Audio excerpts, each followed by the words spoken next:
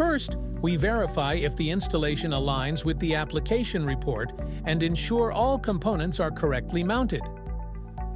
This includes comparing the heat sealing band to specifications. Check the secondary voltage at the transformer to ensure proper operation. Ensure the cable cross-section of the high current cable meets requirements for safe power transmission. Compare the transformer with the application report and the nameplate to ensure the correct transformer is used.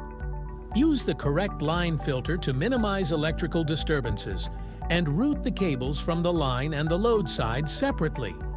Additionally, ensure that the cables are twisted to further reduce interference.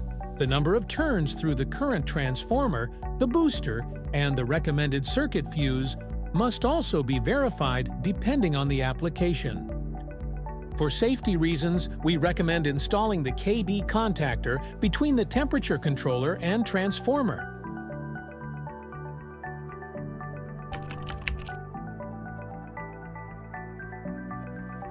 The voltage measurement wire should be twisted to reduce electromagnetic interference and be connected directly to the seal bar heads.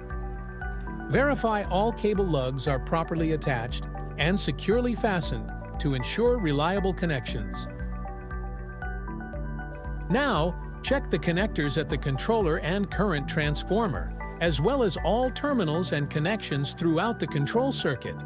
These should be regularly inspected, especially on movable parts like seal bar heads. Inspect tools for contaminants or damage and ensure correct installation seal bar heads must be movable. Finally, the RopeX application can be put into operation.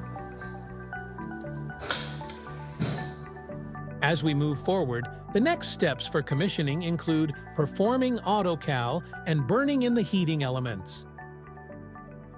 If you have any further questions, please reach out to your designated contact person.